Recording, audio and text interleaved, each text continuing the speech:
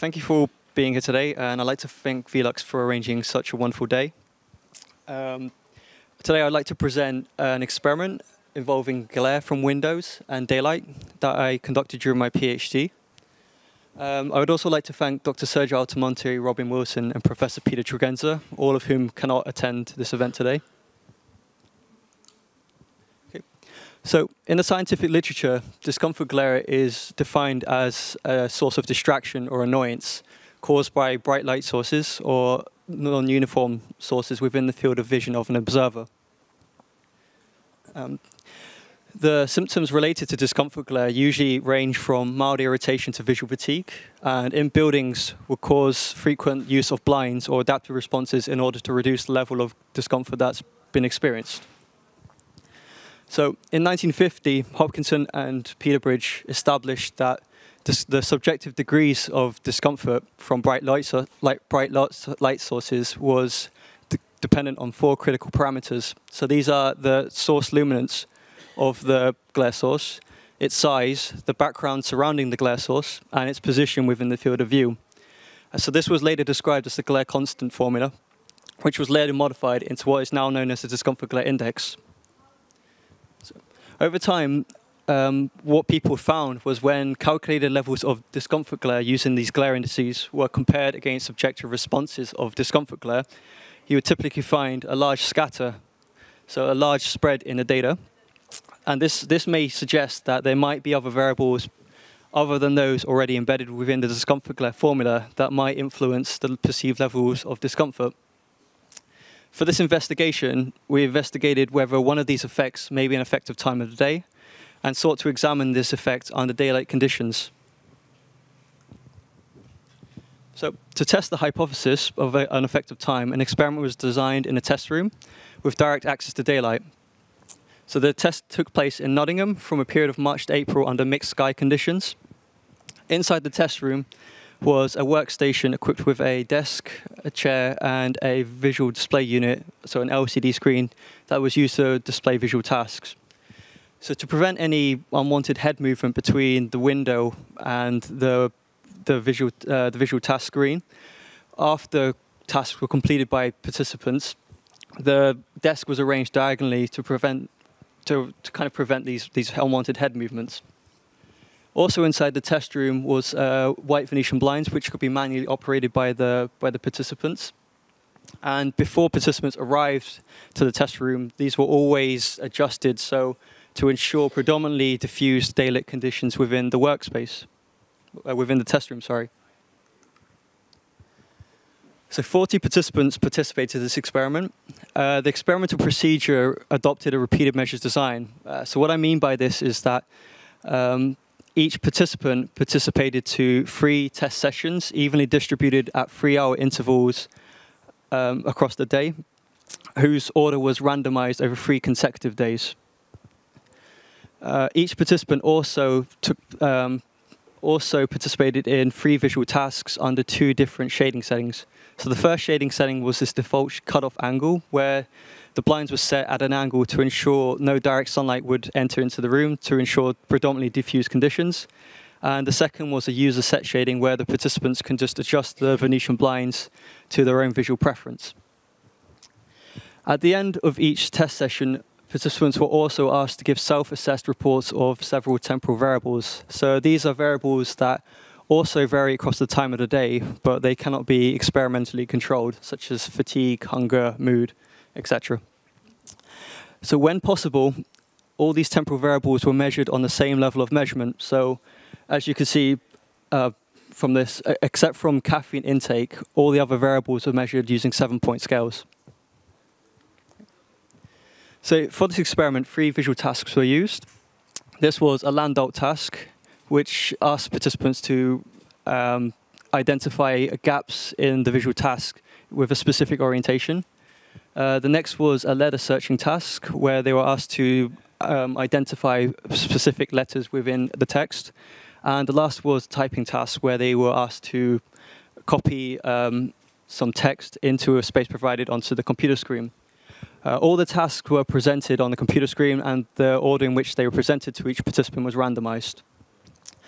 Um, to ensure no unwanted carryover effects were present within the experimental procedure, so that is when they repeat the same visual task on more than one occasion because they had to attend different test sessions across the time of the day, uh, pseudotext was used. So the content of the pseudotext could be randomized without necessarily deleting or adding letters in, but they also made it homogeneous enough for statistical analysis to be performed to analyze the data. After completing each visual task, um, participants were asked to give um, reports of glare using a glare sensation vote scale.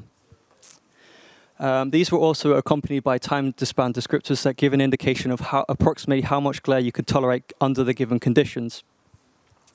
After giving a glare sensation vote, um, the photometric values of the observer were captured instantaneously using a CCD camera equipped with a fisheye lens, um, a luminance chromometer, and desk level luminance sensors recording the luminance every 10 seconds. Uh, for this experiment, the camera and the chromometer were mounted on the desk, pointed towards the LCD screen, which was assumed to be the visual fixation point of the observer, and was mounted as close as possible to the head of the participants without causing any distraction or annoyance. To ensure the photometric integrity of each um, image captured, so the seven low, the seven low dynamic range with images with varying exposure exposure values. Um, the illuminance captured at the lens of the camera was compared against the luminance measured using the chromometer. So the two graphs show on the left, um, your left, the, the default shading, and on the right, the user set shading. Across the diagonal uh, is the, plotted the null line, which corresponds to a condition where there's no difference between the luminance that falls on, this, on the camera's lens and the luminance captured by the, the chromometer sensor. Uh, since most of these points fall on the null line, the images captured were considered to be reliable for, for further investigation. Um, all the all the images captured were converted into high dynamic range with uh, radiance formatting, which allowed them to be um, evaluated using EVA software. So to analyze the data, um, the daylight glare probability model was used to detect an effect of time of the day on perceived levels of glare given from participants. So the daylight glare probability, or DGP, is defined as the probability that an observer would be disturbed given the combination of the physical or photometric uh, values present in the field of view of the observer. Okay. Um, so what the graphs show is the on the y-axis the mean daylight glare probability values with 95% confidence intervals. Along the x-axis, the time of the day um, with the corresponding level of glare sensation given from participants organized by the default shading, so in the white bars, or the user set shading in the shaded bars. So what you can see from the graph is under the default shading setting for every level of glare sensation vote given, uh, there appears to be increased values of mean DGP as the day progresses. However, this tendency cannot be seen under the user set shading, so once the participants adjust the blinds to their own setting. So to corroborate the findings, uh, some statistical analysis was performed. So under the default shading setting, um, the fixed effects model detects um, highly significant differences in the mean DGP values under the default shading setting for every level of glare reported. However, under the user set shading, there was no significant differences in the mean. Uh, since Visual Task had no significant effect on mean DGP values, this was excluded from the model to simplify it. Um, so in the analysis, a fixed effect is typically defined as something that's been experimentally manipulated, or sometimes in research, people would specify uh, an independent variable as a fixed effect if they're interested in looking at central tendencies such as the mean. So after performing this analysis, uh, what we can then look at is um, something called um, estimates of covariance parameters. So what this essentially is, is a Wald Z statistic, which indicates um, a highly significant difference. So what this really says is the fixed effects. So for example, the time of the day, the default shading, the tasks, the, the, the reported level of glare, um, cannot fully explain the level of variability in the model compared to a model which has zero variance in it. So there may be other parameters not included within this model so far that influences the perceived level of glare given from participants. So what we can then do is take all the temporal variables. So these, to remind you, are the variables that cannot be experimentally controlled, but they also vary across the time of the day. Hence, they're, as the name suggests, they're random. So we can include them into the model to make it into a mixed effects model. So just a reminder, a fixed effect is something that varies, uh, exper is experimentally manipulated. So in this example, it's the time of the day.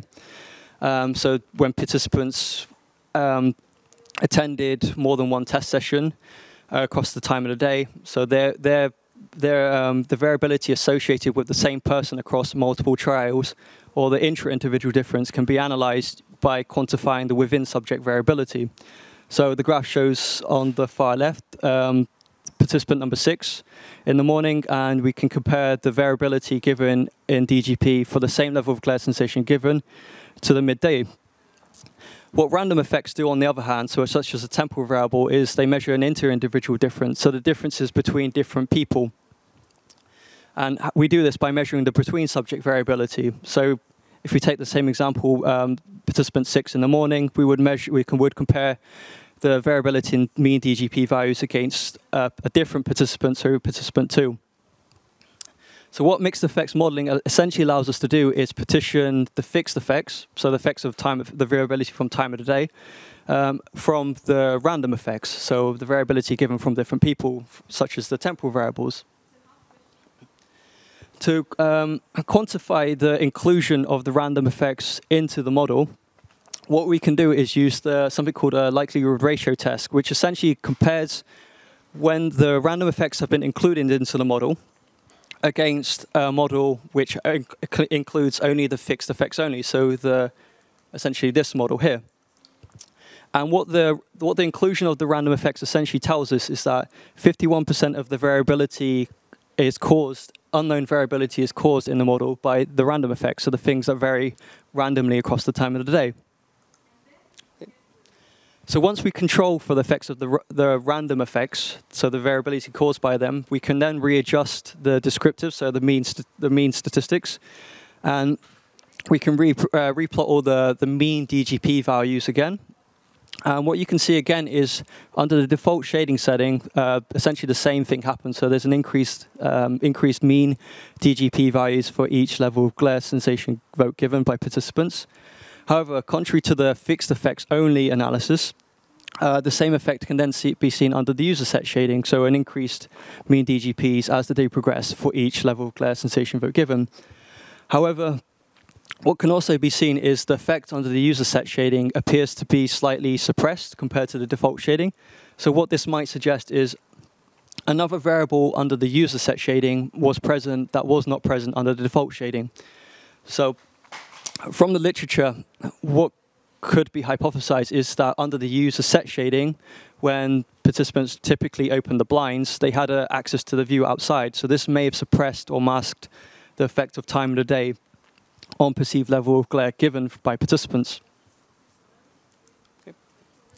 So the conclusions from this experiment sh show that there, there may be a significant effect of time when evaluations are given by test, sub, uh, test subjects. It also suggests that there might be a need for more sophisticated um, statistical modeling in discomfort glare research that kind of helps us identify these different sources of individual differences between different people. And also, it supports the notion that physical and photometric parameters embedded in conventional glare indice formula may not be sufficient enough to predict the level of glare given from bright light sources. Uh, thank you for listening, and I hope you enjoyed the presentation.